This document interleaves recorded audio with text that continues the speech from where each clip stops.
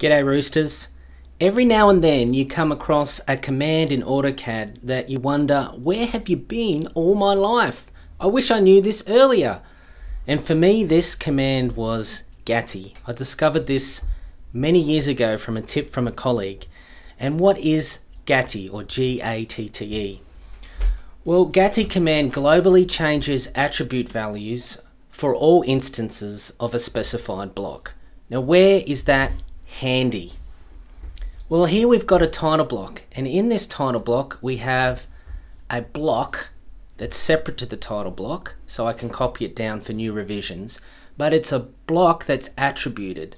So each one of those fields there is an attribute that you can edit manually. Now I could put today's date in like this and it updates it like that. But of course I've got 16 drawings here and it's not updated across all of those. But what I can do is globally change that by typing in G-A-T-T-E, click that attributes, and then put in today's date, and that has updated across all of the drawing sets. So that often is a very handy command and one of those, where have you been all my life?